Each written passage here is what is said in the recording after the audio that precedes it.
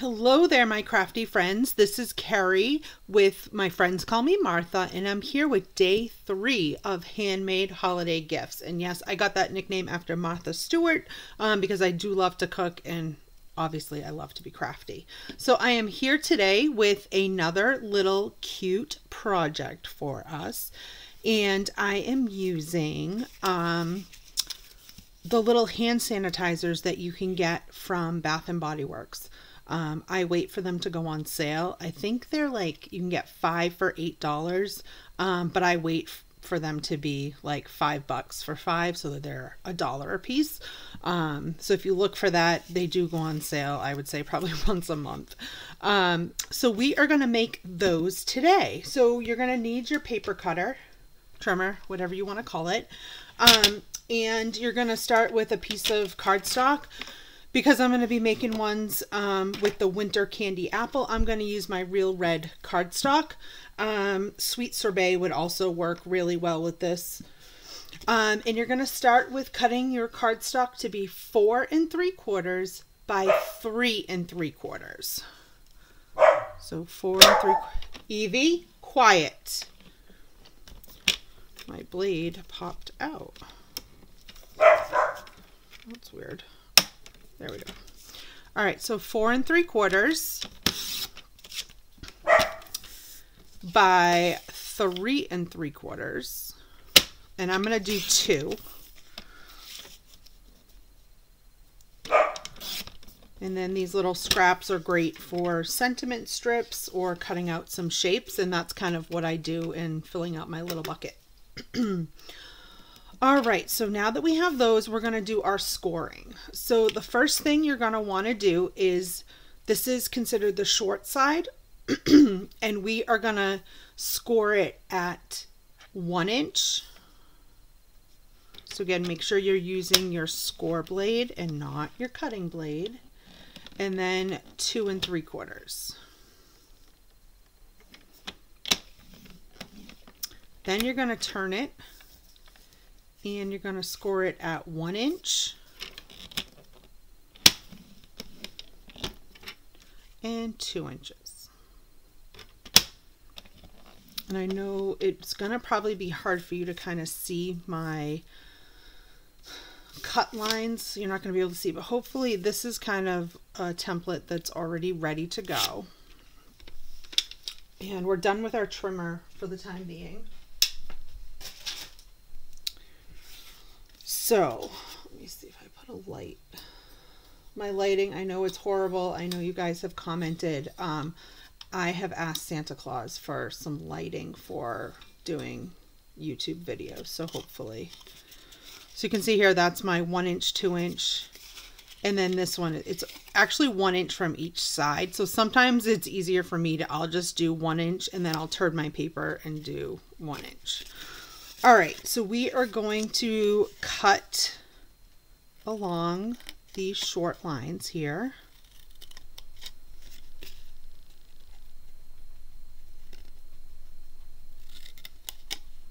I'm even having a hard time seeing. And then what I like to do is um, on this piece, I just cut off little, um, like cutting off some of the excess so that it just, it folds easier for me. And you're not going to see this, so it doesn't have to be super pretty. And then I'm going to turn it and do the same thing over here.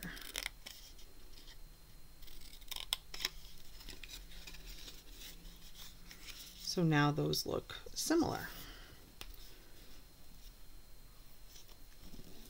And I'm going to do the same thing. I'm going to, like I said, I'm going to make two of these Oh, I didn't score this one. All right, so never mind. I'm not going to make this video longer than it needs to be.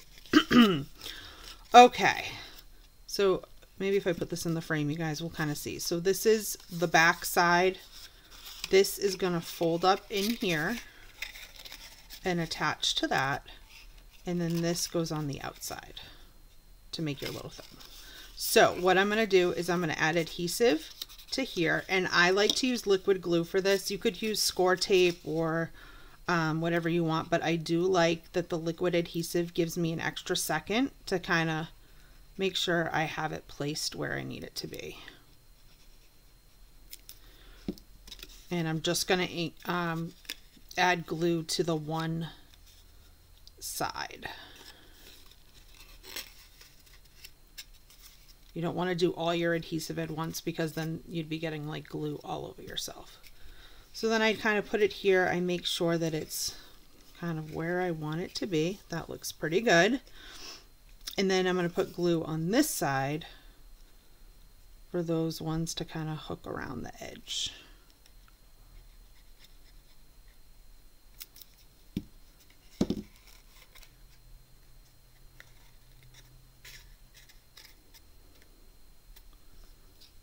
And the glue does dry clear, so if you feel like you don't have it super straight. Um, sometimes when making them, I've had like a little piece here, and I will sometimes just cut it so that I know that it can sit straight. Okay, so that is our little container. And then to cut the angle sides, I just use a pair of scissors. So I start at this side and go to that bottom corner. Or you could start at the bottom and go to the top. And that's it. So then I stick my little pocket sanitizer in there. And now I need some string or some ribbon.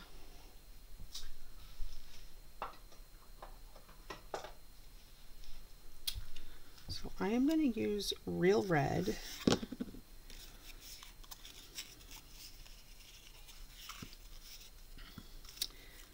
And I'm just going to kind of guesstimate. I do want to um, double knot it. So I'm probably giving myself too much ribbon, but it's better than it being too short. So then I stand it up, move it more in the frame here.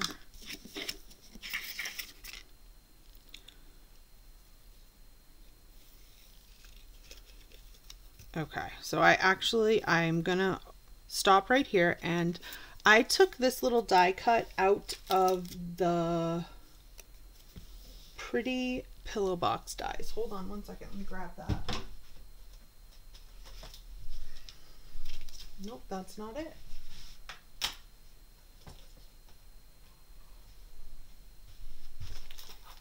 I thought I had it right here with me. Anyways, it's the pretty pillow box dies um, and I cut the tag out. And then it also has these cute little flowers, which I actually have not used yet. So this is going to be a learning process.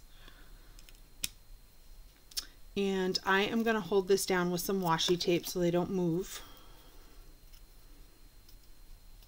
And this is from the, oh, here's my die set. the pretty pillow box. There's actually a lot of flowers. They give you four. Um, and then that's the little tag. I knew I had it close by. And then this is the red glimmer paper. It comes as a combo pack as six by six and it's um, real red and white glimmer paper. And I just cut off what I needed.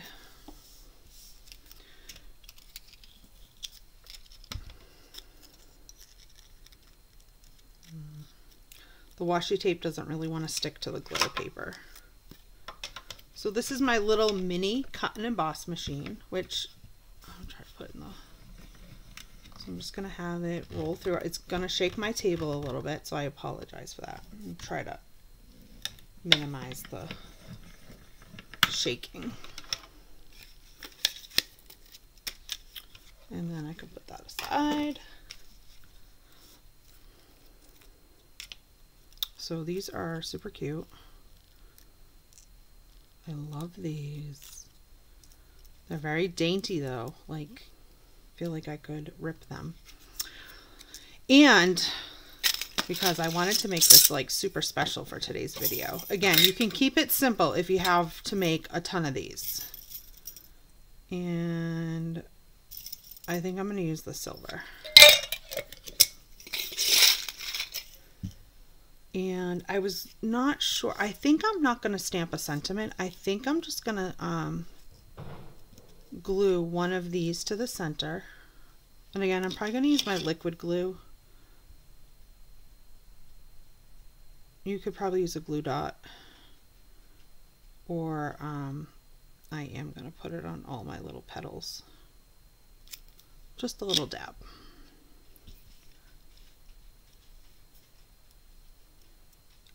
Okay, and now I'm going to first put my tag on and then hopefully I'll be able to weave the bell through.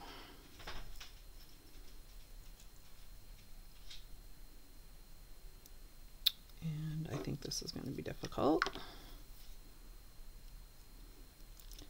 See if I can use my take your pick tool to, this is when fingernails come in handy. Oh, I got it. Yay, it's a good day. All right, so I got the little bell. I got a good knot. I'm going to tie another knot to make sure those are there. And then I'm going to do a little bow. Evie, come here, honey. She, I can hear the neighbor kids outside. And she, of course, wants to go out there. Okay, so now I'm going to cut my tails. Okay, now for one final little detail, I used a three quarter inch by six inch strip of, this is from the Sweet Candy Cane set of paper, and I think I'm going to stick with the real red side.